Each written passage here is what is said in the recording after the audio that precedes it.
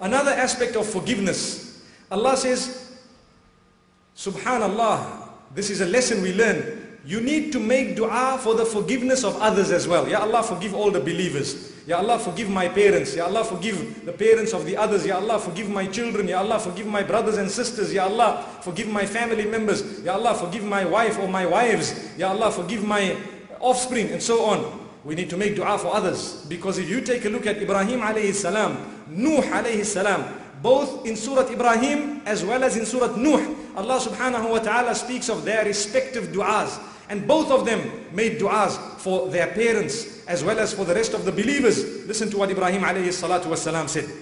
ربنا اغفر لي ولوالدي وللمؤمنين يوم يقوم الحساب Oh Allah forgive me and forgive my parents and forgive all the believers the day you take the accounts the day of reckoning the day of judgment listen to what Nuh alayhi salatu wasalam said he says رب اغفر لي ولوالدي ولمن دخل بيتي مؤمنا وللمؤمنين والمؤمنات Oh Allah, forgive me, forgive my parents and forgive any believing male or female who has entered my house and forgive all the other believing males and females. Allahu Akbar. This was a dua of the, of the prophets.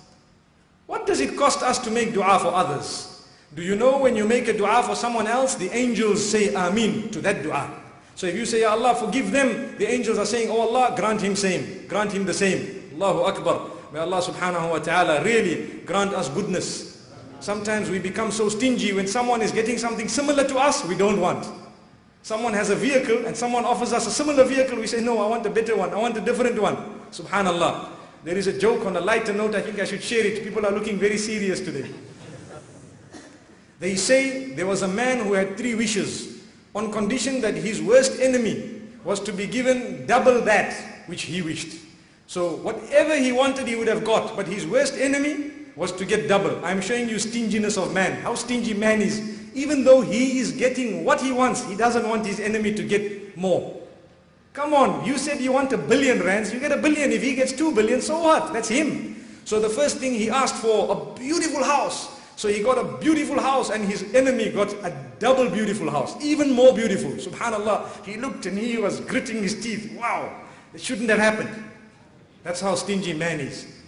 So the second wish, he wished for the most merchandise he could have ever had. A large amount. He got that huge amount, a mountain full. His enemy got two mountains full. He's looking and he says, hey, now I've got everything I want. I got a beautiful home. I got a mountain full of wealth. But my enemy's across the road there. I can't stand that. He says, okay, my third wish, just scare me half to death. so he was scared half to death and he wanted his enemy to be scared to death itself. May Allah subhanahu wa ta'ala protect us. That is how man is. And this is the difficulty with man. That we, we are taught that when you pray for someone else, the angels are making a similar prayer for you. And who is better in prayer? Us or the angels? Definitely the angels. So there's a better prayer being made for yourself. So learn to pray for others. Ya Allah, grant them. Ya Allah, this man with a business across the road, give him barakah. The angels are saying, Allah, give that man even more barakah. Subhanallah. Are we ready to do that? That's the sign of a believer. When our iman is weak, we tend to fight. That man, look, send your people, go across the road. Everybody who's going to his shop, divert them here. May Allah protect us. Sustenance is in the hands of Allah. Yes, you are allowed to employ methods to lure the customers, but not dirty, cutthroat tactics in order to lure people away from others. May Allah subhanahu wa ta'ala grant us protection.